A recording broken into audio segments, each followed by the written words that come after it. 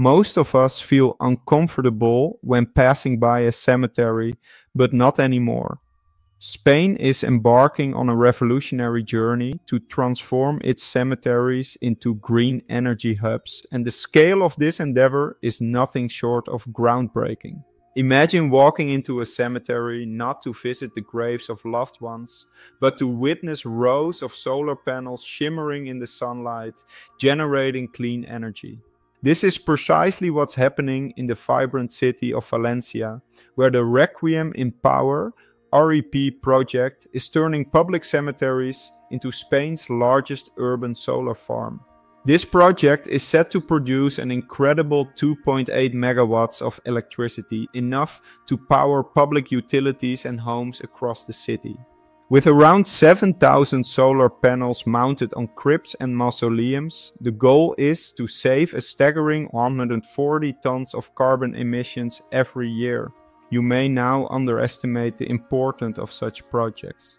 Do you know that covering all cemeteries worldwide, estimated to occupy around 3,000 square kilometers, with solar panels could generate approximately 7,800 terawatt hours of electricity per year?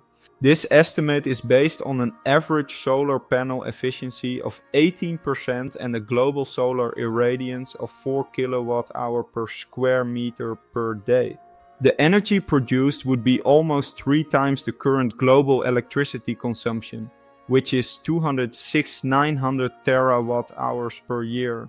While this theoretical potential is significant, Practical considerations such as panel placement, shading, and maintenance would affect the actual energy output. So now we can see Project Benefits Valencia is rewriting the narrative on how cities can use unconventional spaces to fight climate change.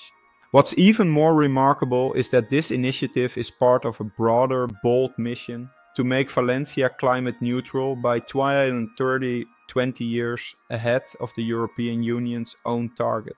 Stick around to discover how this project could redefine the future of urban sustainability and why cemeteries could become the next frontier in green energy. The Requiem in Power project is not just about adding solar panels to unused space.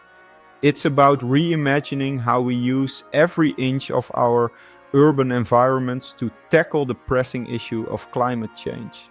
According to a European Union fact sheet, the thousands of solar panels installed across crypts and cemetery structures will provide a significant boost to the city's clean energy capacity. By harnessing the untapped potential of these vast public spaces, Valencia is setting a powerful example for other cities around the world. Traditionally, cemeteries have been viewed as solemn, passive spaces. But now, Valencia is turning these spaces into active players in its ambitious sustainability goals. The energy generated from the RIP project will not only power essential public services, but also help supply clean energy to local households, reinforcing the city's commitment to both environmental and social well being. This is a crucial part of the broader Valencia 2030 climate mission. The RIP project is a clear demonstration of how cities can repurpose public spaces to meet climate goals while simultaneously improving the quality of life for their citizens. And Valencia isn't alone in this vision. Across the border in France, the commune of Saint Joachim is also pioneering the use of cemeteries as renewable energy hubs. In 2021, the small town launched a project to install solar panels in its graveyard, and by next year, they expect to have 5,000 panels up and running at a cost of around 3.3 million pounds. These kinds of projects are part of a growing trend across Europe, where cities and towns are looking for innovative ways to meet renewable energy targets. By utilizing otherwise dormant spaces like cemeteries, cities are finding creative solutions to tackle one of the biggest challenges of our time how to generate enough clean energy to meet growing demands while minimizing environmental impact. The Cemetery Solar Farm in Valencia is not just a local initiative, it's a blueprint for how cities around the world can innovate to achieve sustainability.